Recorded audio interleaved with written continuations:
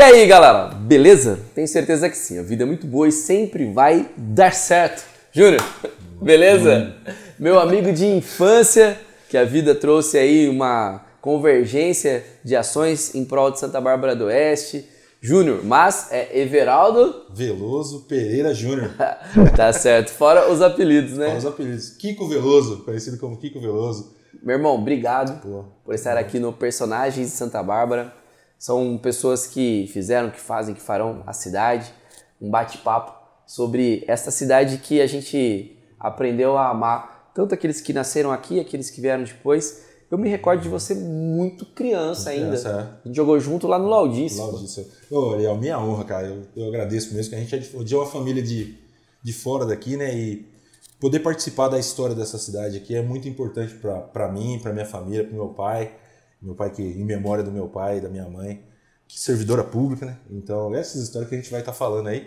E desde o, do, acho que do pré-mirim, acho pré-mirim, o fraldinha, o seu nego, que a gente está ali naquele que... montando o time, você pela, pela direita, eu centroavante, já desde pequenininho, esguio o centroavante do seu nego. Que época boa, né? época boa demais. Eu me recordo do torneio de férias. Torneio de férias. Me recordo, nós tínhamos no salão também, no de janeiro. Isso. Aqueles campeonatos, uma época muito boa. Mas nós vamos falar de tudo isso. Vocês são em quantos irmãos? Nós somos em, em sou eu, né, e mais três irmãs. São mais velho? Sou mais velho, de três irmãs. E aí a gente, a gente veio de, de, de, São Paulo, eu sou, sou natural de São Paulo, sou paulistano do Itaquera. A gente nascia na Vila Matilde, né? Que eu sou anterior ao Hospital Santa Marcelina, Agora minhas irmãs já nasceram no Santa Marcelina, no Itaquera mesmo. É, muito próximo ali o estádio do Corinthians, a nossa, a nossa residência ali. E eu, São Paulino. Caramba! já, já, desde muito novo, já na briga, né? Que na Zona Leste ali eu acho que é 6 milhões de corintianos. É, e, sou, e tô eu ali, São Paulino, no meio do povo, sempre Caramba. acostumado com, com, as brigas.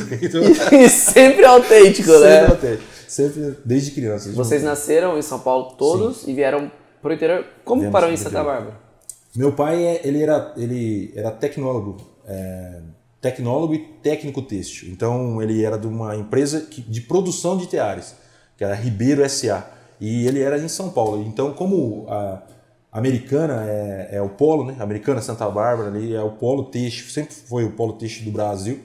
E a, a empresa transferiu ele para cá. Aí ele veio para cá, gostou muito e aí decidiu lá com a minha mãe para trazer a gente para cá. E eu acho que foi uma, uma das grandes decisões da, da nossa família foi vir para cá, que aqui conseguimos é, é, criar todo mundo. Agora temos nossos, a nossa segunda geração já que é toda daqui. Né? Meus filhos, os filhos das minhas irmãs são todos daqui, todos barbarenses. E, e, e, é um amor que foi criado por essa cidade. Né? Hoje eu sou barbarense, não, já a gente ama São Paulo, ama a Zona Leste, mas é, é, toda essa identidade que a gente tem é com essa cidade. A gente é, já cria os nossos filhos amando essa cidade para defender a cidade. Então é um prazer muito grande estar aqui. Seu pai é falecido? Meu pai é falecido. Meu pai faleceu em 2017, é, mas a, trabalhou muito nessa, nesse ramo têxtil. Né? No, no, no, final da vida dele tinha uma empresa aqui no, no distrito de comércio de máquina têxtil. Então ele pegava as máquinas, reformava e revendia. Então foi teve um bastante trabalho nessas áreas aí com todas essas empresas daqui da região e deixou um legado, deixou um legado muito bom nessa, nessa área, muito conhecido, né? Que a gente vai conversar com o pessoal dono de empresa, muito conhecido. Então, é, graças a Deus, é, a gente vem de, um, de, um, de uma boa história. E a sua mãe é servidora? Minha mãe é servidora pública. Minha mãe é servidora. Desde aí... quando? Desde que ano? Minha mãe, eu acho que tá desde 2004. Eu sou servidor desde 2001. É, eu tô com 22 ela, é, anos. Ela é depois de você? Ela é depois de mim. Você que, você que incentivou? Não, é, nossa família, o meu avô era servidor. Meu avô, o pai da minha mãe era servidor. Aonde? É, em São Paulo, prefeitura de São Paulo. Aí meus tios ali, aí tem tenente, bombe... é, polícia militar, tem professoras, tem enfermeiras. Aí toda, toda a minha família é ligada nessa, nessa área de, de serviço, de serviço público. Então, o serviço público para a gente sempre foi. O conhecimento da, do serviço público sempre foi de. A gente nasceu, eu nasci, tenho 41 anos, já nasci com essa, essa prática de serviço público, de cumprimento de dever, de, de se doar para a sociedade. Então, a gente. Eu até. até brinco em casa que falei assim, eu fui um dos poucos que não quis, né? Que tinha, tinha eu, a vocação para ser policial militar, mas não quis, porque eu achava que a vida dos meus tios, meus primos era muito difícil, né? Porque na época lá em São Paulo era muito difícil e eles eram convocados emergencial o tempo todo e lá é qualquer coisa, jogo de futebol, evento, eles tinham que ir e não, e não recebia nada por isso, era só o serviço mesmo militar. Agora mudou, mudou bastante, né?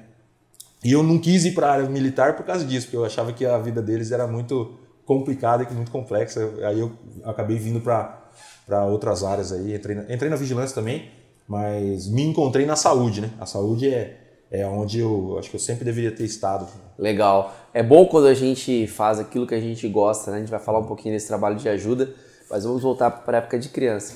Você estudou no Magui? Eu estudei no, no GEMA. No GEMA. No GEMA. Ali eu estudei no GEMA. Eu cheguei na, de São Paulo na terceira série. Entrei no GEMA na terceira série e fiquei no GEMA até a sétima série. Na oitava eu fui pro Magui.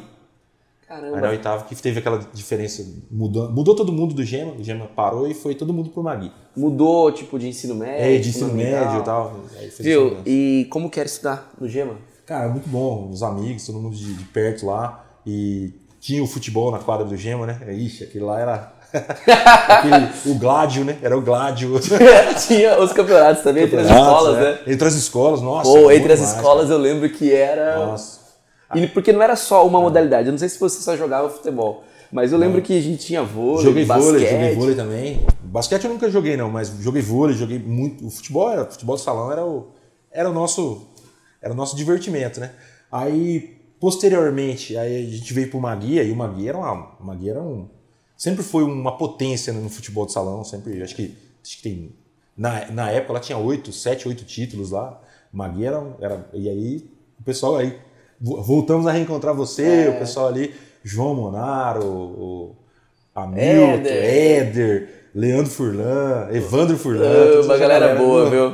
Galera da saudade. Alequinho, Alequinho. grande Alequinho. O Alequinho é uma resenha até hoje. Pô, Alequinho, preciso trazer aqui o Alex. Gente boa demais. Boa. E eu me recordo quando criança, nós tínhamos as, as escolinhas de futebol, tinha Campo Belo, tinha o Laudice, Laudice, seu nego, seu nego Carlinhos. Carlinhos. Né? Que ali no campo do Laudice não era como é hoje. Não tinha alambrado, não tinha nada.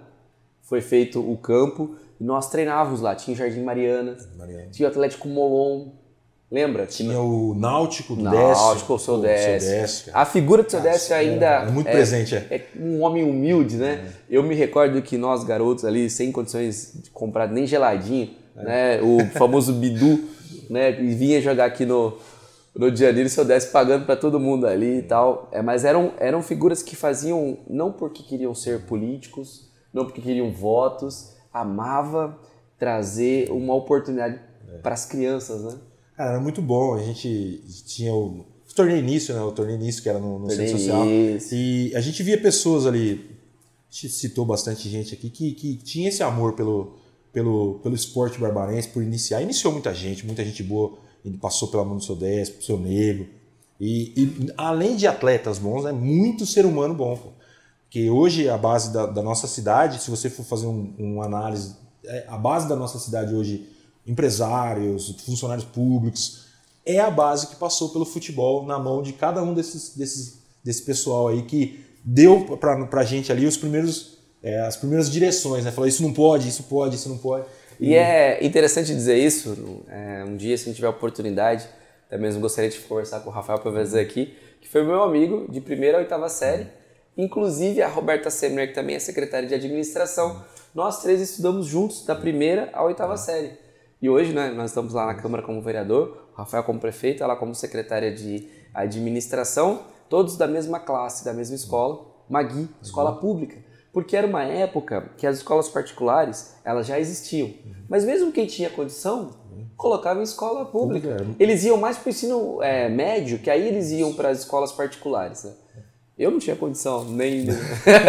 fazia Senai e estudava no Magui à noite, é, pô. Muito. E, e no Gemas deve ter tido professores, diretores que você se recorda. Eu gostaria que você falasse de alguém que você se recorda, se ainda está vivo ou não. Cara, no Gema eu, eu, me recordo muito do professor Zé Newton. Zé Newton de português, no Gema. No Magui a gente se recorda da, da Dona Maria Santa, né? Nossa, não, tem Maria como. É, Dona Maria Santa que me salvou muitas vezes ali. Dona, Dona Sandra também. Dona Sandra, Beth Barbosa. é, Beth. que é de matemática. Isso, a Dona é. Beth Barbosa, ela tinha. Eu, eu, eu, me, lembro de uma tabelinha que ela fazia, que era assim, ó. Era a conta, aí você tinha um resultado aqui, outro aqui, você decidia. E eu me recordo que a Dona Sandra, por exemplo, ela dava nota diminutivo, no, no diminutivo, lembra disso? Cezinho. Não sei se você teve aula com ela. Eu Dona não, tenho, eu não lembro. Nossa! E a Dona Maria Santa, uma, uma graça, né, de pessoa. Graça de pessoa, ele, do conselho lá, e a gente sempre sempre estava junto no verso vivo, né? O verso vivo. Verso Era, e a gente estava sempre ali na. E nós tínhamos pessoas que é, declamavam bonito, não? Reclamavam bonito. Magui sempre, Magui sempre foi uma potência do verso vivo. Acho que quando eu estava lá no primeiro, segundo, terceiro, a gente foi campeão uns dois anos. Mas você três, chegou né? a, a- Não, eu era da participar? torcida, né? Eu era, eu era da- Não, eles tinham uma parada. a gente, de- a gente, eu participava da, da montagem, né? Parte de cenografia e tal, ajudava o pessoal na montagem e organização da torcida. Porque a torcida também dava ponto. Dava no verso vivo, a torcida dava verdade. ponto. É. In- Inclusive tinha música na Música, torcida. isso. E eu me recordo, Júnior, que era uma época que nós não tínhamos a, a preocupação que tem hoje de ter transporte. Eu me recordo de ir embora a pé, Pé, ir a pé para o vezes, teatro Manuel Lira e nós participávamos ali. Uma, uma boa lembrança cultural, né, Júnior? cultural, é, é é um. Que a gente teve esse acesso à cultura, teve o, o poder estar integrado à cultura através do verso vivo. Todo mundo, todo mundo que. quem pisou no palco, quem pisou em montagem de cenográfica, é todo um envolvimento cultural, né? Desde o do início, como que vai ser, a- qual, que vai, qual o tema que a gente vai escolher, que tipo de música a gente vai ter na torcida, como que vai ser a iluminação, era tudo escolhido ali, a gente passava alguns meses ali decidindo e no final no dia do- da apresentação era aquele, aquele apogeu, né? Então todo mundo saía feliz. Mesmo não tinha essa competição, ah, quem foi campeão, quem não foi, todo mundo fazia aquela apresentação, Ulisses, vinha o Brocato, fazia aquelas coisas absurdas, falava assim, cara, tem, como tem gente talentosa, né?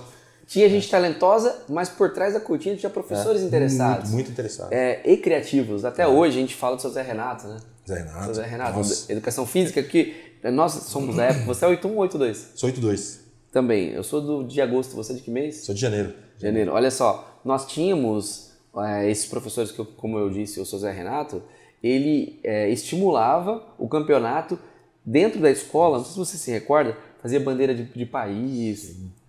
E era classe contra classe. Os interclasses eram... Interclasse. É, era- e você jogava às vezes quinta série contra uma oitava. É. Né? E era uma. E e era era- desafio de vencer, né? A gente não... Era quinta e oitava, mas a gente queria vencer os caras. E outra coisa, é, a escola era envolvida.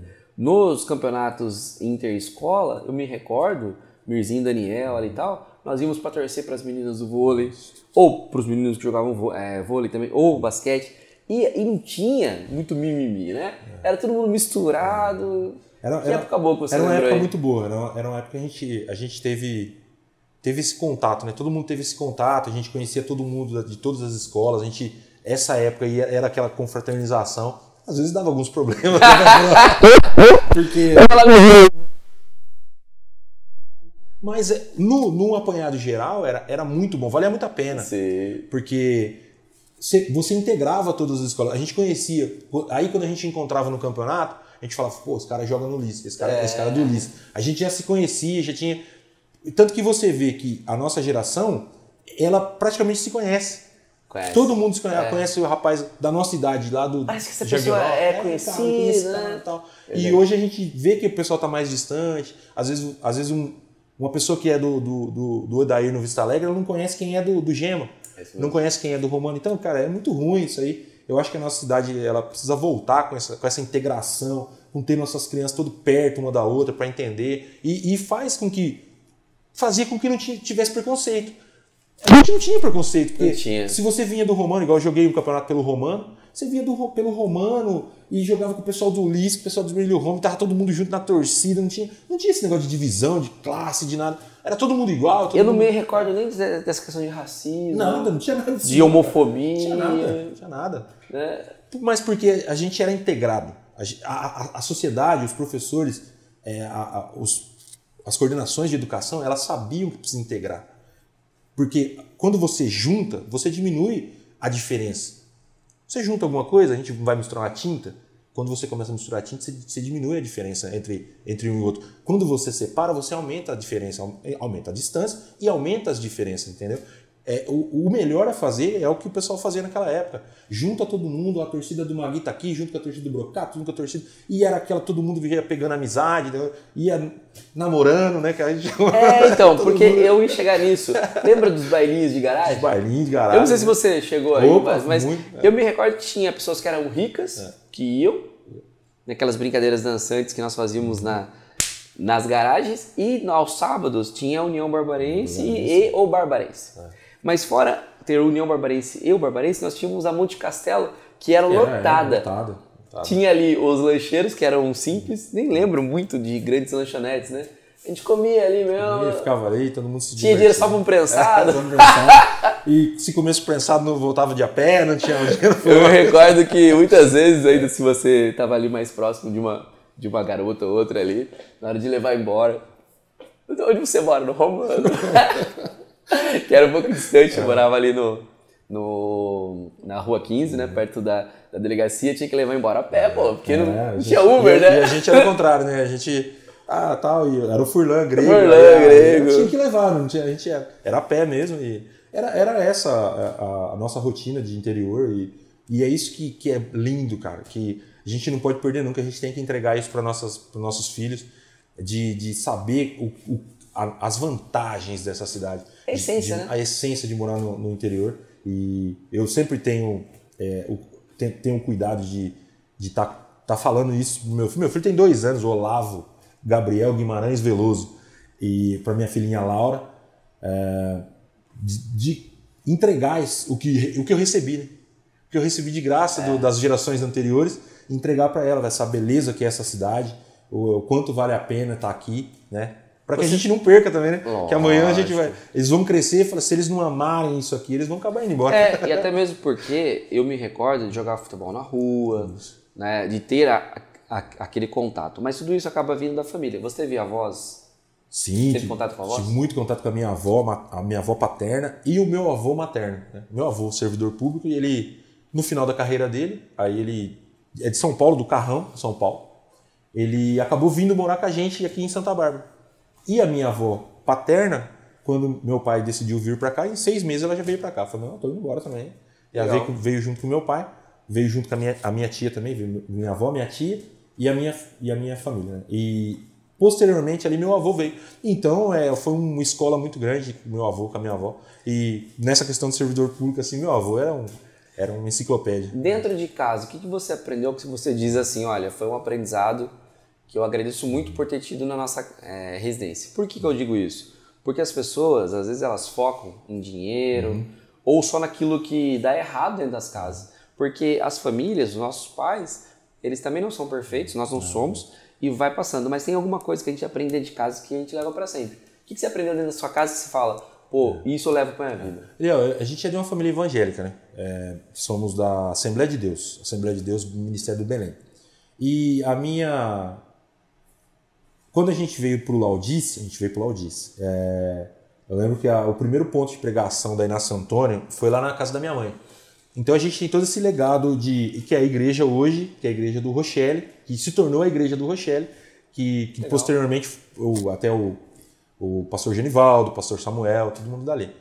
E então a gente teve todo esse, esse ensinamento que é na área evangélica, a gente teve todo esse legado e um legado muito, muito que eu assim que eu falo assim que é muito presente é, eu, eu acredito hoje, com toda a maturidade que eu tenho, que havia necessidade, meus pais eram, eram bem rígidos, minha mãe, meu pai é bem rígido, com, principalmente comigo, né, que era um menino mais, mais peralta. E, mas hoje, com a maturidade que eu tenho, eu sei que eles necessitavam ser rígidos para que eu chegasse até aqui. Porque se eles não fossem rígidos comigo, eu acabaria me perdendo no caminho. É, e, e também a, um legado de, de honestidade do meu pai. Eu lembro muito bem diz que meu pai é em memória do meu pai, né? Que meu pai é falecido. Então, meu pai era perito, texto, ele fazia essa perícia de seguro e tal. E eu, eu me lembro de épocas que, texto sobe e desce, né? de uma época que isso é muito presente para mim. Que ele tinha a opção de fazer uma perícia, tal, assim, sabe? Ajeitar uma perícia ali e ele contava a moeda e pegava o ônibus. Falava, não, isso aqui eu não, eu não faço não. E isso é muito presente para mim. Fala assim, cara, esse cara é um cara diferenciado, né? entendeu? Porque é muito fácil a gente ter uma escolha quando a gente tem várias opções. Mas é muito difícil a gente fazer a escolha certa quando a gente não tem nenhuma opção. Entendeu? A gente só Sim. tem aquela opção Sim. de, ah, cara, se eu fizer isso aqui, melhora a minha vida. E sigo. Ele, ele contava as moedinhas dele, pegava o ônibus e ia embora. Então, e eu eu estava presente em uma dessas ocasiões. Então, isso para mim é, é algo que eu vou levar para sempre, né? além do nome dele, vou levar para sempre comigo dessa honestidade incondicional, independente do que aconteça, independente do que vá acontecer com você, você tá se manter reto ali e seguir o rumo. Quando você se tornou pai, você passou a entender melhor os seus pais? Cara, hum, hum, olha, parece que eu me tornei pai muito, já muito tardio, né? Experiente já, né? É muito experiente. A Laura eu, tem quantos anos? A Laura tem 4 anos. E, e eu tenho 41. Olavo? O Olavo tem 2. Então, eu vejo sempre Esse você... nome Olavo é homenagem a alguém? Olavo de Carvalho. é um, é um, é um para mim, um marco também. Foi alguns marcos na minha vida. Olavo de Carvalho conhecer um pouco da filosofia, do entendimento, da, da, da capacidade que o Olavo tinha de, de falar sobre coisas muito complexas, que a filosofia é muito complexa, a vida, a nossa vida em cotidiano é muito complexa. Então o Olavo ele tinha a capacidade de falar até com uma pessoa leiga, que eu sou leigo, sou um cidadão comum, não tive tanta instrução, tanta capacidade, e hoje eu vejo que a minha vida mudou totalmente, né? A partir de, de que eu conheci o Olavo, comecei a me integrar à filosofia do Olavo, eu melhorei muito. E ao me tornar pai, né, tardio, é, mudou totalmente a minha vida. A minha vida mudou, tipo assim, totalmente. E hoje, a, a, queria até mandar um abraço para minha esposa, que é muito valente. Eu acho que eu, eu, eu, já tinha sido casado, tal, tinha divórcio, mas não tinha filho. Então eu, eu acredito que Deus preparou ela para mim porque ela é muito valente, é, é, é, uma guerreira de verdade mesmo que não que não, não, a gente não precisa perguntar, né? Falar assim, e aí, não, vamos, vamos para cima.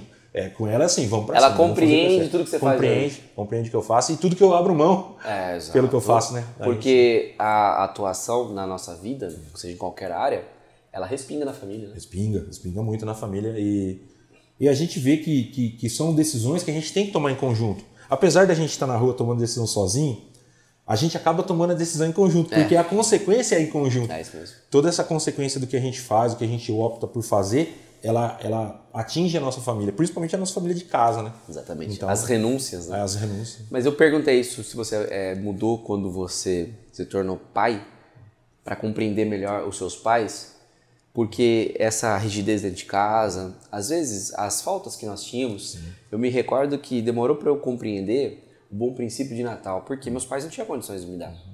E o vizinho tinha. Então, no primeiro dia do ano de janeiro, eu via meu, meu vizinho cheio de dinheiro e eu chegava com meu pai, pai, meu bom princípio. Meu pai, coitado, dava o que dava ali. E eu não, eu não entendia. Depois eu fui compreendendo que é, a forma de bom princípio quando o pai tinha uma condição, às vezes dava ali um dinheiro, depois o filho comprar um próprio brinquedo e tal. E quando eu me tornei pai, eu fui compreendendo. E hoje eu compreendo quantas renúncias meus pais fizeram, talvez para que nós tivéssemos, né, numa casa de uma edícula, três cômodos e seis pessoas moravam ali. Então, e quantas dificuldades eles passaram? Por isso que eu te perguntei isso. Nós, nós, por meu pai, pelo meu pai ser um técnico texto, tecnólogo texto, a gente não tinha uma condição tão difícil. E, e por minha mãe ser uma economista, cara, de primeira. Minha mãe, apesar do meu pai ter um, um salário tranquilo, não era aquela coisa de a gente estar na correria sempre. E minha mãe era uma pessoa, minha mãe é uma pessoa muito econômica, muito econômica, sabe muito bem o que fazer com dinheiro, não esbanja. Ela sempre teve esse princípio de não esbanjar, de tratar a gente sempre, ó, eu sei que pode, mas eu não vou dar. Eu sei que a gente pode comprar, mas eu não vou comprar. Entendeu? Minha mãe sempre foi assim. E inclusive às vezes até discutindo com meu pai, que meu pai queria dar, o tênis novo, não sei o quê, bicicleta. Eu falei, não, eu não vou comprar. Eu não vou comprar porque eles não precisam disso. Então, minha mãe sempre foi assim. Então, isso também a gente traz o legado para as crianças. E hoje a nossa vida é dedicada 100% às crianças, né? Então, sempre, eu até brinco com a, com a minha esposa em casa, eu tenho, sou motociclista, tenho uma moto, tenho, tenho uma CB1000 em casa e não, eu não ando há três anos, porque é um filho, né? A CB1000 é um filho. Você não anda? Não, nunca tive com a moto? Porque é, a minha dedicação é às crianças. Então eu sei que se eu começar a andar de moto, eu vou começar a ter gastos. E, e eu falo Caramba. assim, não, deixa lá. Que... Então você entende que a gente abre mão de coisas que a gente ama para poder estar tá, tá se dedicando aos filhos. E é isso que, gente, que eu, eu vejo hoje que meu pai, é, meu pai e minha mãe abriu, abriu, abriu, renunciaram muita coisa para que a gente pudesse ter uma boa educação, para que a gente, para que não faltasse nada em casa, né? Eu não posso dizer que, eu, que teve falta de nada em casa, mas que minha mãe sempre foi uma pessoa que, que não deixou que a gente é, falasse assim, não, vocês vão ter o que vocês não precisam. A gente nunca teve o que a gente não precisa. A gente sempre teve o que precisava. O que não precisava, ela falava, isso aí é, é, é supérfluo. É, isso é supérfluo, a gente não vai comprar. E quando você começou a trabalhar? Tá, começou novo? Sim. Primeiro emprego foi o quê? Rapaz, eu comecei muito novo. Esses dias eu tava até brincando. Eu comecei. Eu acho que eu tinha 13 anos. Que meu pai montou uma tecelagem. Meu pai. Eh, saiu da, da empresa Ribeira S.A. e montou uma tecelagem lá na Rua das Embuias, em Americana. E ali tinha, acho que 16 tiares RC4, depois veio uns 8 kit pinça, e eu acho que desde os 14 anos eu já sou tecelão. Que eu me lembro, falei, cara, aí eu fui ver os livros pontos da empresa esses dias com a minha mãe. Falei, nossa, eu sou tecelão desde os 14 anos. E aí eu comecei como espulador, aí depois passei para ajudante tecelão, depois tecelão batia meus. Aí minha mãe começou, minha mãe é tecelã, meu pai e minha mãe se conheceram na Vicunha, em São Paulo. E meu pai técnico, tal, meu pai seguiu, minha mãe parou. E, mas minha mãe, nessa época, voltou a ser tecelã e tal.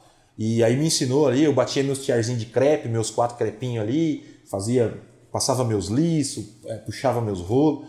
Aí posteriormente fui com meu pai, depois que a empresa não deu certo, porque o altos e baixos né, da, da tecelagem, fui com meu pai também para uma, uma, uma tecelagem que a gente tocava ali uns M5, aí já mecânica, fazer alguma coisa de mecânica. Aí paramos né, ali, Trabalhei bastante como ajudante de pedreiro, um vizinho, tinha um vizinho que era um pedreiro de mão cheia, então eu trabalhei bastante de ajudante de pedreiro. Com 19 anos já entrei na prefeitura. E, aí, então, e aí você, quando você entra na prefeitura, você entra na vigilância? Na vigilância. Entrei como, como na, na prefeitura na vigilância, fui para o aterro, fiquei tirei, tirei acho que uns 3, 4 anos de aterro, depois a gente veio para a portaria da garagem, aí em 2008, 2009 eu passei para motorista. Aí passei para motorista, Aí começou essa correria de, de, de demitido, volta. Em 2009 você passou é. para motorista e assumiu quando para motorista? Em, em, agosto de 2009. E só que como eu, eu vinha de uma luta Então já... quando eu fui secretário de segurança você não, não, não, trabalhava mais? Eu lembro, eu me recordo muito que a gente na vigilância a gente jogava muito campeonato estadual pela guarda, a gente junto, eu, você, Gil. Tá, mas você não era da, da, da Secretaria de Segurança? Já quando... não, não, eu era da Secretaria de Segurança. Quando eu era secretário de não, Segurança não era? Não era, eu estava eu estava é, demitido. eu fiquei quatro anos é, afastado por demissão é, e voltei em 2000. Da vigilância? Já não, como motorista. Você foi demitido não da vigilância, não, não motorista. motorista. Aí voltei em 2013. Mas vamos contar essa história, Isso. porque senão acha que é, tá. uma, que é por causa do, do mau serviço, né? Não. Quando que você começou a perceber que valia a pena hum. lutar dentro do serviço público para melhoria? Olha, a gente teve uma reunião, eu, eu, eu, sempre tive muito acesso à Secretaria de Segurança, sempre, as portas sempre foram muito abertas para mim, porque a gente era atleta amador e tal. Então tinha muitos amigos lá também, você tinha uma lista de amigos infindável lá. É, é, e aí a gente, eu tinha muito acesso à Secretaria de Segurança. E num belo dia o pessoal decidiu que a gente seria aquartelado, a gente como vigilante seria aquartelado e, e teria a mesma rotina dos guardas. Falei, não tem problema nenhum, a gente pode ser, mas que a gente vai ter que ter o curso de ordem unida, a gente vai ter que ter o curso de rotina de vocês. A gente não pode ficar aqui jogado aqui no meio de vocês, vocês são treinados. Aí nesse momento a minha vida começou a virar, né? Que aí começou as perseguições, Aí eu sofri algumas, é, algumas perseguições na guarda, sofri sete processos administrativos é, por, por, por falar o óbvio, né? Que Tava eu, lutando por isso, treinamento. Por treinamento, porque eu, eu, eu, como vigilante, eu não poderia entrar numa viatura e andar com guarda. Entendeu? Para se deslocar do posto. Eu não tinha colete à prova de bala, não tinha periculosidade, não tinha, tinha treinamento. Porque não tinha treinamento nem para saber para onde correr. E aí a gente fala assim, eu, inclusive, tinha 20 e poucos anos, tinha nem 30 anos. Agora você imagina o pessoal que tinha 50, 40 e poucos anos, já, e alguns vigilantes sabia, idosos. Eu falei, cara, não pode jogar esse pessoal. Até que a gente, como é mais novo, tanto que muitos vigias que daquela época passou para guarda, passou para guarda, foi para outras carreiras, que é do, da minha idade. Mas os outros já foram se aposentar, porque já eram muito antigos. Aí eu falei assim, não, não pode. E comecei a enfrentar de maneira técnica ali o secretário de segurança da época, e sofri alguns processos administrativos. E quando passei para motorista, os processos seguiram comigo, né? essa perseguição seguiu. E daí você virou motorista. Motorista. Só que aí já tinha uma fama já na tinha prefeitura. Uma fama, já fama de... E aí você passou para motorista geral ou específico já da... Não, eu passei geral. Aí fui deslocado para merenda, merenda, merenda municipal. E aí chega lá, merenda municipal é aquele... ah, é aquela... É coisa... É bom, a gente entrar em detalhes, né? Mas aí já deu algumas discussões ali e fui demitido. Aí fui afastado em 2009 e demitido em 2011 e retornei em 2000, 2013. Aí retornei em 2013, fiquei algum, um ano e pouco na, na educação e aí 2015 já fui para a saúde. Aí foi onde eu, eu me encontrei é, profissionalmente. Aí virou condutor de ambulância. De ambulância. Aí fui lá para ajudar o pessoal como condutor de ambulância. E na saúde a mesma forma, né? E hoje, por é. exemplo, motorista letra geral. É. Hoje você pode ser tirado da saúde? Não, hoje não. Por quê? Porque fui também transferido, fui, fui assediado na saúde também. Porque como, como eu cheguei na saúde e aquilo para mim era muito novo, e então eu falei assim, cara, é isso que eu quero fazer para minha vida, cara. Eu quero ser socorrista, eu quero ser técnico em transporte de ambulância e fui estudar. Aí fui estudar. A gente estuda de maneira independente, né? A gente tem, a, como diz o Olavo, tem a diferença entre educação formal e educação real. A gente estuda, se dedica, gosta. É, eu, eu sou um aficionado por transporte de, de pacientes, eu estudo portarias, legislações de saúde. A gente fala com, eu fui do sindicato de condutor de ambulância na região metropolitana de Campinas nessa época. E a gente luta por melhoria, a gente, não, a gente quer o um melhor não para nós. Se a gente quisesse o melhor para nós, a gente ia lá no prefeito e falava, prefeito, dá um aumento para nós, deixa nós quieto. Mas a gente quer o melhor para a sociedade. Diria uma portaria. É, uma portaria, deixa nós quieto aí. comissionado. Isso, mas a gente quer o melhor para a sociedade. E é difícil, porque muda o cotidiano todo da sociedade. Então, aí nessa época a gente fazia todo o serviço de médico, enfermeiro, técnico de enfermagem, e os motoristas faziam sozinhos. Eu falei, não, isso não é isso que está escrito. Aí comecei a lutar, entrar, entrar com ações, fazer denúncias, e aí fui transferido. Aí fiquei cinco anos no, no prédio da prefeitura, é, lá na Secretaria de Planejamento. saí em 2017, fiquei na, na, Secretaria de Planejamento até 2022. E também fui assediado, perseguido, impedido de entrar na, na secretaria, na, na, no meu setor de trabalho, tudo isso consta em processo. É, fui impedido de esquentar minha marmita lá no micro-ondas, impedido de ir no banheiro. Mas é uma coisa que a gente tem que tá, estar tá disposto a pagar. Quem não está disposto a pagar o preço pela mudança, eu acho que não deveria nem entrar no, no descer para o play, né? Igual eu disse. Mas é um preço que a gente tem que pagar e graças a Deus, eu agradeço a Deus todos os dias de estar tá do lado certo. De em todo o tempo eu, eu é, é bem-aventurados, né? Bem-aventurados que são perseguidos por, por conta da justiça. Por justiça. É o que diz na palavra de Deus. Bem-aventurado é quem é perseguido por justiça, por lutar por justiça. Então eu agradeço a Deus todos os dias por ser perseguido, porque é, eu sei que eu estou do lado certo. Cada dia que eu sou perseguido, cada dia que eu estou, é, eu, eu, eu durmo tranquilo que eu falo assim, eu estou do lado certo. Eu me preocupo quando eu não estou sendo perseguido. não, mas é pesado isso é que você sofreu. Porque, como você mesmo disse, não é só você, é a família, é. todos Demissão implica em não receita, claro que você é criativo, deve ter ido atrás aí de outras formas né, de trabalho, né, sim, né? Quando sim. estava fora da, da prefeitura, mas tem o psicológico. E pelo que você falou aí, eu estou contando desde 2008, já são 15 anos, 15 anos. nessa é. questão. E é interessante olhar eu de fora a tua história, porque você vem de um lar evangélico, com princípios cristãos, com família boa, passou num concurso que é direito seu cargo, aí sofre essa perseguição toda e depois em 2023 tá em pé, pronto é. para em condições de e dizendo não, a gente vai continuar lutando, lutando por melhorias. Psicologicamente, você sente que você teve em alguma época aí fobia, teve algum problema psicológico? Teve dias que você falou, meu, eu vou desistir de tudo? Ou pelo contrário, a gente vai pedir passar igual o Sansão, né? É. Para que eu derrube essas colunas. É. O que, que aconteceu? Teve, teve. A gente passou por um momento muito difícil depois de 2017, porque a vida nossa, a minha vida mudou totalmente depois de 2017, né? Quando eu fui afastado da prefeitura, porque eu tinha certeza que eu estava fazendo o que era certo, que era a defesa do, da sociedade, foi os valores que eu aprendi em casa, que é do, dedicar a vida para a sociedade, dedicar a vida pelo, pelo mais fraco. E aí, mas Deus ele tem ele tem um plano na vida de cada um. Eu, em 2017, eu era sozinho. Já 2017, ali com mais de 30 anos, né? Um, um casamento, algumas histórias que não deram certo. E sozinho, solteiro, não tinha. Eu, eu tinha a minha família, porque eu fui criado pela minha mãe, pela minha tia, pela minha avó. Então eu tinha a família da minha tia, tinha a família da minha mãe, que todo mundo tá tudo perto. Mas eu não tinha a minha família. Você tinha amigos? Muitos amigos, muitos amigos. Amigo, amizade é. Você tem ainda tem, hoje? muitos amigos, muitos amigos. Apesar que a luta, a correria afasta um pouco a gente, mas tem muitos amigos. Só. Mas eu queria dizer assim, que por que, que a gente continua lutando? Porque em 2017 eu não tinha ninguém. Aí passei por um, por um período muito difícil, de, tive depressão.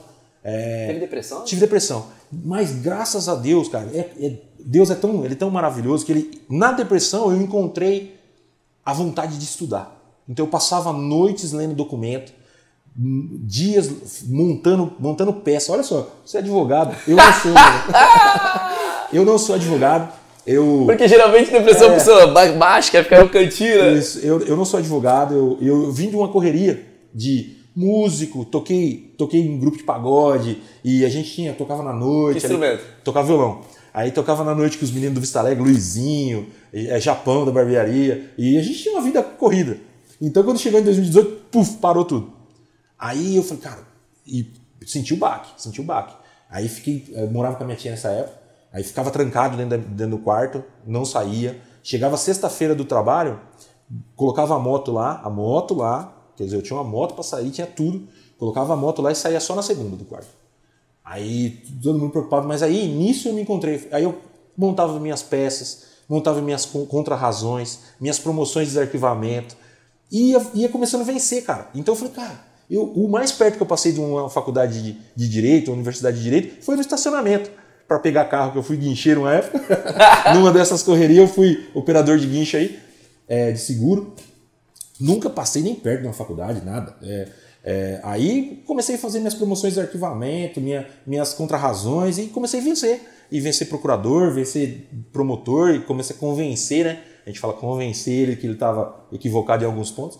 E nessa luta toda aí a gente conseguiu criar o 92 de Santa Bárbara que é hoje, com enfermagem, que está tá se estruturando, está começando a caminhar no caminho certo, muito diferente do que era antes. Então, quer dizer, Deus ele é tão perfeito que na dificuldade a gente encontra o caminho. E nesse, nesse inteirinho de, de, de dificuldade, conheci a minha esposa, né? E aí, todo esse tempo ali com o casamento não tinha filho, aí veio a Laura, aí, ou seja, para mim, Eliel, para mim, eu acredito que é um presente de Deus. Tudo isso que eu passei, tudo isso que eu luto, cada dia que eu levanto e ah, luto, ah, não, está errado, vamos lutar, mas você vai ser perseguido. Ótimo, Deus me dá um presente. E isso que, é o, que eu entendo, o Júnior Veloso entende assim. A cada dia que eu me levanto para fazer algo de, de bom para alguém, Deus me dá um presente. Então Deus me deu dois filhos maravilhosos, deu esposa, deu um lar. Enquanto eu estava afastado, eu comprei casa, é, afastado, teve época eu ganhar mil reais por mês, cara. E eu, eu comprei casa, comprei residência. Hoje eu tenho meu, minha residência, é, meu lar, que a gente está tá levantando, que é a minha casa, a minha família, entendeu?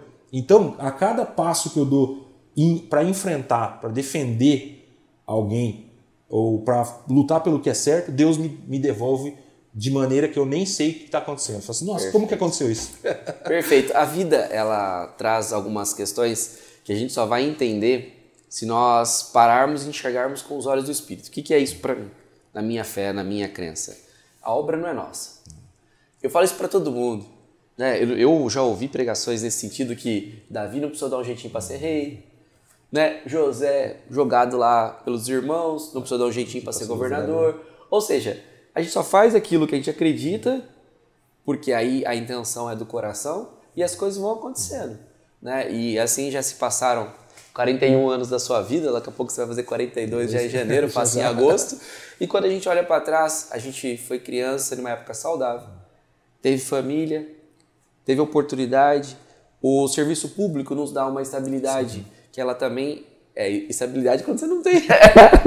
quando você não tem essa vida, né, Chico? Porque se tiver essa vida aí. É do. É mais. Ah, estabilidade é, é, é Mas, é. né, brincadeiras à parte, Deus deu muitas coisas e deu saúde, né? Saúde, graças a Deus. Você não tem. Muita saúde. É... Queixa em relação a isso. Né? Não, tem, graças a Deus a gente sempre tem, tem se colocado. E eu agradeço sempre ao povo de Santa Bárbara. Eu, eu, sou um, eu sou um cidadão agradecido, eu sou um servidor agradecido ao povo de Santa Bárbara por ter, ter me dado tudo que eu tenho até hoje, entendeu? De, de tudo, de, de instrução, de, de ter amigos, de ter amigos. Eu sempre gostei de ter amigo, sabe, o, o senhorzinho, é, de toda a instrução, de, de saber o que é ser cidadão do interior, de amar essa terra. Tudo que eu aprendi foi aqui.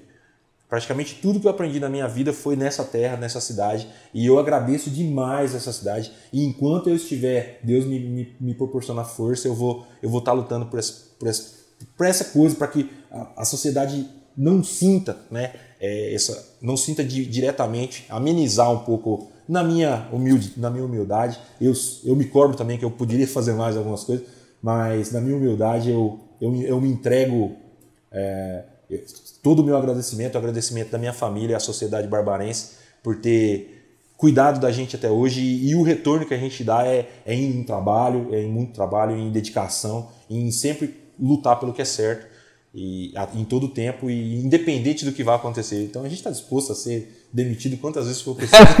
Se Deus quiser, não vai mais ser não. Mas olha, Ju, nós chegamos aqui no tempo do programa que a gente faz. Prazer conversar contigo. Acho que nessa conversa a gente lembrou de coisas que estava ali escondido, né? Esquecido. É assim a vida, a gente vai correndo tanto. E você falou coisas bonitas é, no sentido de gratidão. Porque eu acredito que a gratidão ela pavimenta a próxima benção. Muitas vezes as pessoas não entendem por que, que a gente é tão é, obstinado em um caminho. A gente fala, pô, Eliel, tem que ser mais maleável e tal. Mas a gente diz, mas se eu for uma pessoa em cada lugar, quem sou eu? Quem sou? Ah, então é importante que as pessoas entendam que a liquidez da conduta faz com que nós percamos a essência. Isso. Você demonstra ter muita essência, Deus te abençoe. Deixe um recado pro povo para a gente encerrar. Eu agradeço ao povo barbarense, agradeço a minha família, agradeço a minha esposa, né? Agrade... Falou o nome dela ainda? Maiara. Maiara, agradeço a minha esposa Maiara Guimarães. E agradeço aos meus filhos por, por me dar tanta energia, que hoje meus filhos que me, me dão energia, eu chego em casa e falo, já me revigora e a gente tem muita força para continuar lutando. E que deixar o recado que a gente vai sempre entregar a luta e e nunca vai desistir, a gente nunca vai recuar, a gente nunca vai retroceder. Olavo de Carvalho. tá certo. Vinão, obrigado. Valeu, você curta, compartilhe e comente para que gere mais engajamento. Escreve aqui quem você quer que esteja aqui nos personagens de Santa Bárbara. Um abraço, valeu, valeu. galera.